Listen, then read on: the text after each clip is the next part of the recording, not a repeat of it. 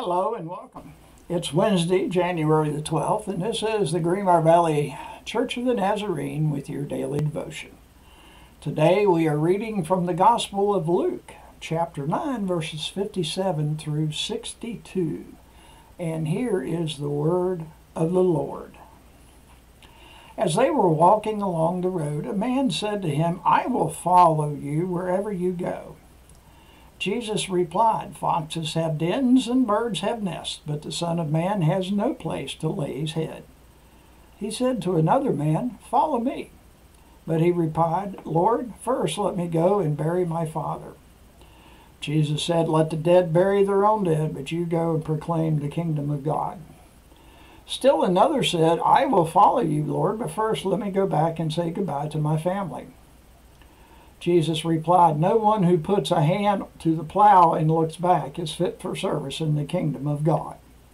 And this is the word of the Lord. The article today is titled Costly Obedience by Amy Mulder. It seems so severe. A disciple comes up to Jesus and promises to completely follow him. Luke lists Jesus' instructions leave your family and follow me. Don't go to your father's funeral and follow me. There is no looking back and serving the Lord. Really? Did Jesus really want us to leave our past and family's responsibilities completely? Surely Jesus would not ask us to forsake all others to this degree. Jesus pushed his questioners to a distinct choice about their focus. We have to fix our eyes on Jesus without reservation to be true Christ followers. A focus on the past can claim can chain us to a picture of how things used to be. A focus on our family prioritizes others' happiness over pure obedience to Jesus. A focus on the plow and work zones of our own efforts neglects our needs for Jesus.